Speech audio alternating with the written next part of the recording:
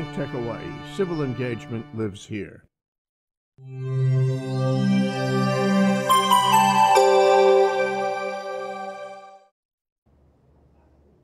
Aloha and welcome to this week's edition of Business in Hawaii. I'm Dailyn Yanagida and we're broadcasting live from the Think Tech studios in downtown Honolulu. If you want to tune in live, we are at www.thinktechhawaii.com.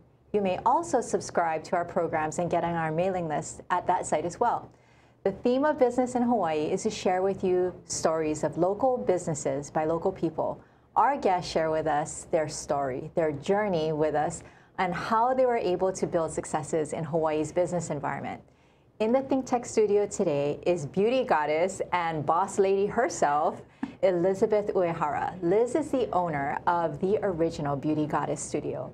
Liz, thank you for joining us today. Thanks, I'm Dailyn. super excited to have you. Me too. Um, tell me about Beauty Goddess Studio. What is that? So um, Beauty Goddess Studio is um, it's a place where you can get your lashes done. We do lash lifting for the natural lashes. Um, we also do facials. We do waxing. We do lash tinting. Basically, we work from like the chest up.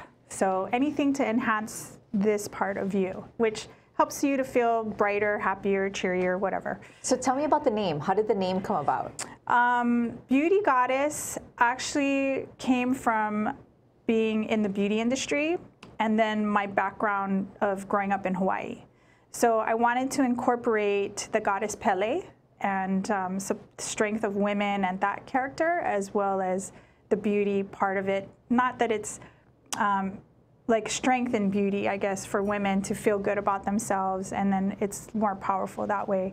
Um, and my original logo was a goddess, and then we morphed it into an eye. fantastic, fantastic. Now, I know that you have a, a very interesting story behind how you finally got to Beauty Goddess Studio here in Hawaii, in Kaimuki, Hawaii, yeah. um, and in Kailua. Yes. Um, but I think our viewers would love to hear your journey um, because for a lot of entrepreneurs like yourself, it's it's having a vision and then how do you make that happen? Sure. And so I'd love for you to share with us your journey way back in the beginning. I mean, a lot of people go to school and get degrees, but that's not what they end up doing. Yes, and, yes. And perhaps it's because their passion turns into something else or whatnot. But tell, tell me about your beginning. How did you know this was your niche? So when I, um, well, I'll start like way back when I was in high school. Um, I was trying to figure out what I wanted to do, and my mom was always encouraging me to continue my education. And um, I think that I, I didn't really know like college wise was the thing for me, um, but I loved fashion and makeup and hair, and I was already cutting um, my friend's hair, and we were always going thrift store shopping, and so um, it was recommended to me that I go into beauty school. So I signed up for Honolulu Community College um, in their cosmetology program, and that's where I got my degree in cosmetology. Um, it was an AS back then, and it was very affordable.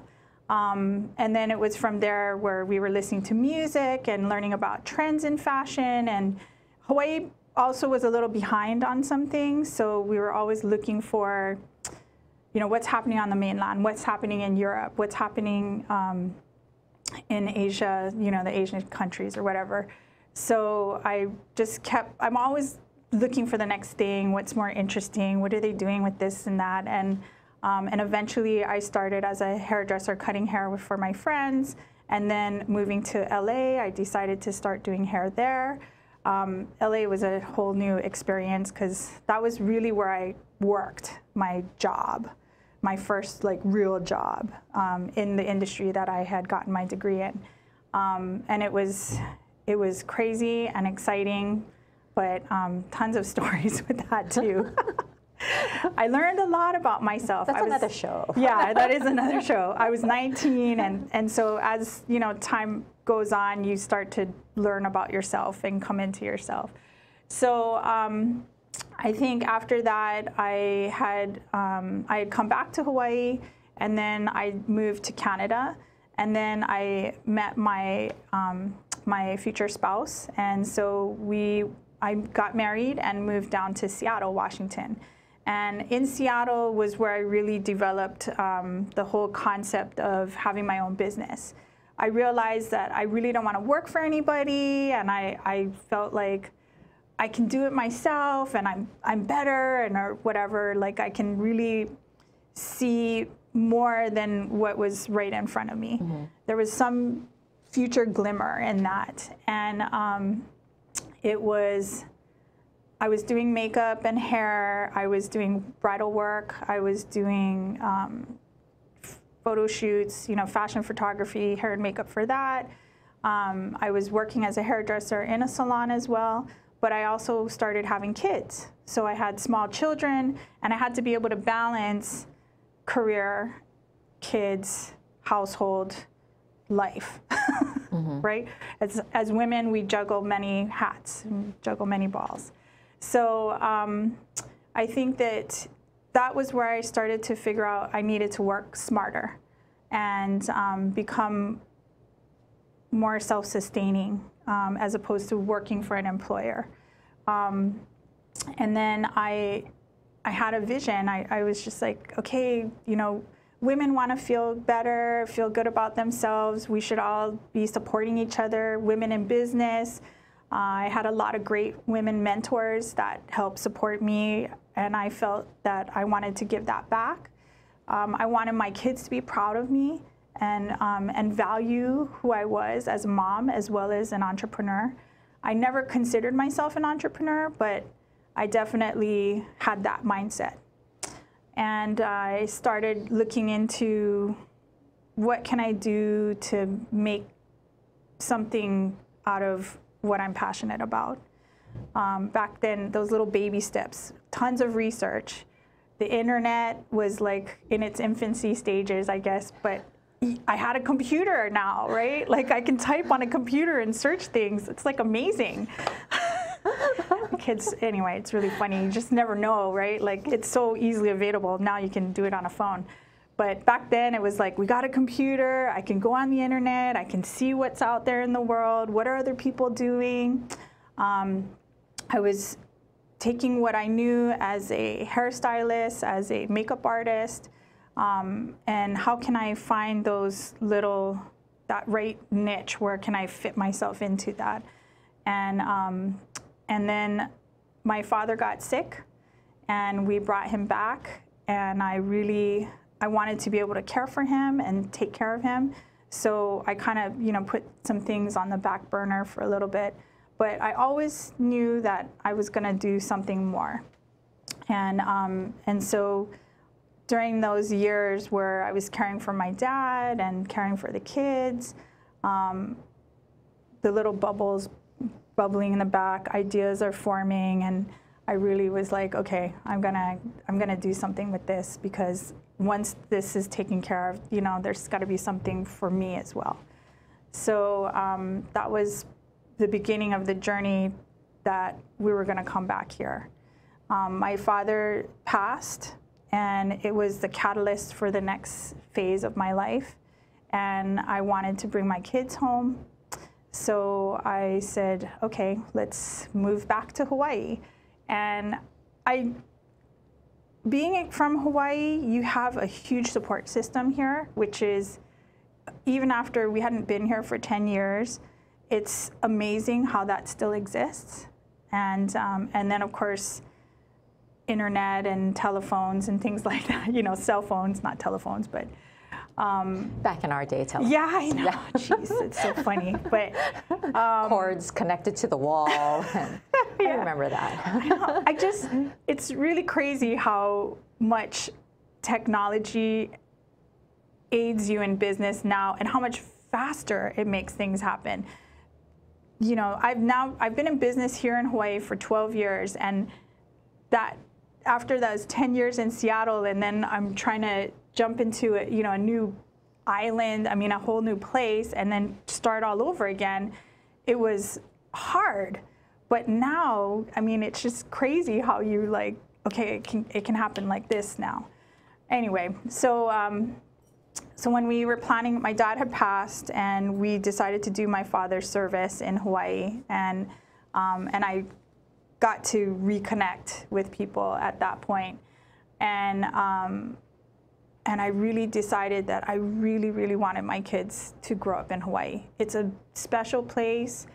It has um, it it there's nowhere else in the world that you can grow up like this, and it's still in many ways we're it's a big city, but at the same time we're a small island and a small community of people.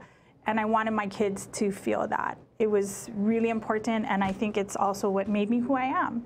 So we made the transition to come back, um, and you got to downsize. got rid of all our stuff, um, and just thinking small. We're gonna live in a box. um, I, I think we started off in a one-bedroom apartment when we moved back here, and I was fortunate enough to have friends who had an apartment building that we could move into and start from there. Um, but you just don't realize how how much your, your friends and your community are going to help you until you ask.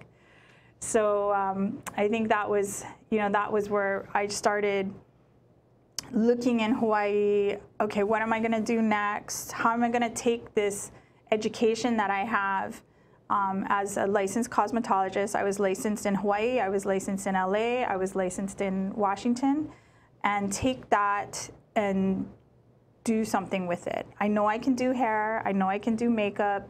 Um, and I know I can build clients. So I, I did what I knew. I started with doing hair and makeup for weddings. I I've went and looked out for all the people that were doing hair and makeup. So I asked them, you know, do you need a stylist? Do you need do you need employees? Do you need someone to work for you? And I started as a freelance artist mm. first. Um, and that way I could kind of pick and choose when I wanted to work and I could still go pick up the kids from school and I could still be at PTA meetings and things like that. So it allowed me the flexibility I needed with mm-hmm. my children. Um, and I had created the name Beauty Goddess when I was in Seattle. So Pele and the goddess kind of came into a little bit smaller focus. Um, and it was really about empowering women. And so when I would do hair and makeup, it's like taking you and making you who you are just slightly enhanced. So, you know, it's not like I'm going to make you into somebody else, but who you are. Mm -hmm. And I really value that in, in us as women. So, you know, it's now. I think that um, it's, an, it's an amazing story, particularly because we do have a lot of resident Hawaii, people who are born and raised in Hawaii who venture off to the mainland to see what's out there and what it's about and want, want to come home and make a go of something. And, and then, of course, that there's the sacrifice to come back because the cost of living is high and, and those things, and then the cost of startup. Yeah. Right? So we're going to go to a quick break, but when we come back, I'd really like for you to share with your audience about the, the struggle. Yeah. Um, you know, because that obviously has made you who you are and the success that you are today. And then we'll talk about that success and, and how you morphed into this goddess because it's really amazing. So we are going to take that short break. This is Business in Hawaii, and we'll see you back here shortly. When I was growing up, I was among the one in six American kids who struggle with hunger. And hungry mornings make tired days. Grumpy days. That kind of days. But with the power of breakfast, the kids in your neighborhood can think big and be more. When we're not hungry for breakfast, we're hungry for more. More ideas. More dreams. More fun. When kids aren't hungry for breakfast, they can be hungry for more. Go to hungeris.org and lend your time or your voice to make breakfast happen for kids in your neighborhood. Aloha! I want to invite all of you to Talk Story with John Waihee every other Monday here at Think Tech Hawaii. And we have special guests like Professor Colin Moore from the University of Hawaii, who joins us from time to time to talk about the political happenings in this state. Please join us every other Monday. Aloha.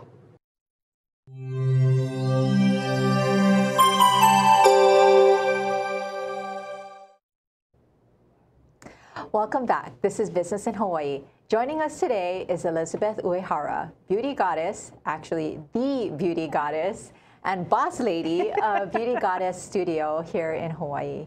Um, when we left to commercial, we were talking about that transition, um, how you went and you started your family Yeah. um, out in Seattle, but you really felt that your pull was back to Hawaii, Yeah. even down to um, a, a spiritual sense, how Pele and what she stands for really embraced your, your vision Mm-hmm. for where you wanted to go. But there was a lot of sacrifice in that. Yes, I I I had to move kids, two of them. They were my daughter was in first grade and my son wasn't even in kindergarten yet. We were having to figure out preschool, which preschool, the cost of preschool here, oh my goodness. Right. Right. You need a second job too. Yeah. I think I, I, that's why I had to continue to do hair in order to pay the bills. But um, I'd always, I, I guess I've always had that mindset that there's something I can do and, and make it not a job, that it's going to be fun and I'm going to enjoy it. So I knew I could do hair, I knew I could do makeup, and so I went and found those nooks and crannies of what I can actually actually make money at. And um, you know, and my my husband at the time, he had to work and he did all of his support system. He found a job here to be able to do that and be able to provide us with health insurance and um, you know, and a roof over our head. And we started really small. Um, the kids didn't know any different, thank goodness. But I also needed to be there for them when when they got out of school. Um, we had to. We shared a car when we first moved back. Our, eh, yeah, that was exciting in itself. Anyway. Um, you know, the first car we buy here, of course, is a minivan, but we shared it. I'd take him to work, or you know, we'd figure that out, and then we would, then I'd have to go pick up the kids or drop them off or whatever. We really kept a really tight budget so that we could manage all these things, and I had the flexibility to be able to work freelance and make money when I could, and um, and not work when I had to, when I had to do something for the kids. And I also felt it was really important for me to get to know my community. So I wanted to be there at school um, to get to know the other parents. And that's also where I found my, um, my network. You start talking to the parents, your kids are friends with each other, and then you start talking to the parents, and oh, what do you do? Oh, what do you do, right? And that's, oh, well, oh, little check mark in my head. Oh, that person works in marketing. Okay, just remember that. Um, oh, these guys are in theater. Hmm, I might need that sometime. You know, pest control guy, whatever. You know, Right, you like you start. It's it's not um, because here in Hawaii it's about networking with your community, right? So that was where I really started to figure out how I was going to be able to do business. Um, but it was sort of on the on the back burner in my head. But that's always how I thought. Like I'm going to do stuff with my kids so I can be there for them, and then this is my community that I'm going to be building around me. So um, as that progressed, and I was realizing, okay, now it's time for me to get more. And you know, we were being able to. The kids were getting older. I could do a little more stuff. Um, I was trying to find that niche, so I was using my um, wedding hair and makeup business, and my girlfriend um, was in Japan, and she was telling me about this service that you get your lashes curled. It's your natural lashes, but it like makes your eyes look bigger. Because in Japan, you know, everybody wants big eyes. They want to look like little dolls. And I'm going, are you kidding me? Who does that? Who perms their eyelashes? That's like crazy. And but I was doing hair and makeup for weddings, and most brides are pretty natural. They want a, a more soft look, and I thought, you know, all right, you know, send me some product. Let me see what let me see what I can do with this. And so at first, I was practicing on myself, um, which is really funny when you're trying to like put something on one eye and then like try to look on the other side.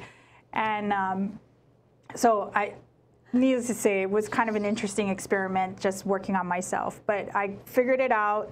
And that's kind of my thought process too is I like to to work on it myself. I like to touch it and feel it and figure it out myself, of course, before I go and experiment on anyone else, even my kids. I want to, I'll do it on myself first. So um, anyway, I, as I was learning about it, I started doing more research on this whole lash lifting thing. And there wasn't really anyone in Hawaii that was doing it. Um, I, it, was, it was available in some small salons, um, but you know, it wasn't like promoted. Mm-hmm. Everybody was just starting to do lash extensions, which are like, you know, the individual lashes they glue onto your own lashes and they're really big and, you know, a little more maintenance. So I, um, I decided to go to a couple salons this, to try it out on how they do it. Let me go see what they do and then I'll come back and check it out. So I'd go and get service done. I'm like, they just put it on, they'd walk away, and I'm like, my eye's burning. like, hello, where, where, are you, people? And then I would come back, I, or I, I, they would take everything off, and I'm like, oh, okay, I get it, I get it. Like your eyes look bigger, but you know, the, the curl would be curled back, or it just wouldn't look right, or my lashes didn't look as long as I would have liked them to. And my mentality has always been, I can do it better. I can do it better. So I went with it and I my girlfriend I I tried to do more research. She was trying to give me like the name of the product that they could get in Japan and I'm like okay I got to find something. Somebody's got to have it. Could not find it anywhere. All the product they had available in the beauty supply stores here and what was available on the mainland nothing worked like the product that I got from Japan. So my girlfriend moves to New York and she goes to get her lashes lifted in New York City. In New York City, how many Asians are there? Okay, there are a lot now, but this is, you know, 10 years ago. She's like, "Oh my gosh, I met this girl, you know, she's from Japan. She she makes all these, you know, she brings in all these lash lifting products. All she does is lash lifts." I'm like, "That's it. I can do this." She does that in New York City. How many girls do I have in front of me while I'm doing the moms and the brides and the sisters and my you know cousin or whatever you know i can do this. So i contacted her in new york. We did a training. She taught me her way. And then um, i was able to get my product from her directly although she was getting it from japan. So it went from japan to new york to hawaii. Then i was trying to figure out um, you know how many how many people can i do in a day how many hours do I need? Um, where can I do this? So I just started looking in the newspaper for commercial retail space. Um, I thought it was going to be so over my price range.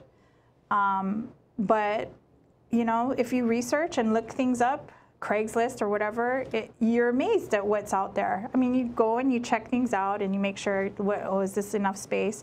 So my first um, official location was in Kapahulu. It was actually quite a large space for the amount of money I was paying at that time. And um, the owner of the building, it wasn't, um, it was an actual person, not a company, which I thought was amazing. I had parking is a key. You need parking, um, you need space and electricity. and water. Hopefully a bathroom. Um, if you're but, lucky. Yeah, if you're lucky, you get a bathroom. Um, but it, it was an older building in Kapahulu. The rent was like spot on. I, I was like, okay, I can afford this. Um, so now what do I do?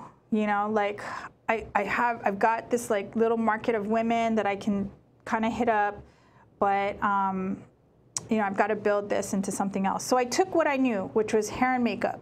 So I did hair and makeup there. I still met my brides there. So that could keep and sustain my income. And then I brought in this new service.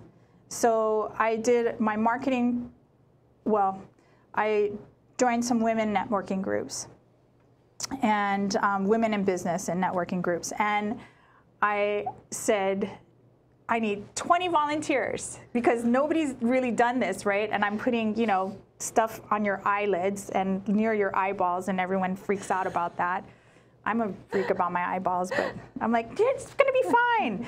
Anyway, I Trust me. trust me. Yeah. So I sent out an I sent out an email, an e-blast to this women's network community, mm-hmm. and I said I need 20 volunteers to try out these new products, and it's lash lifting. Um, I'm gonna curl your natural lashes, but I need your feedback.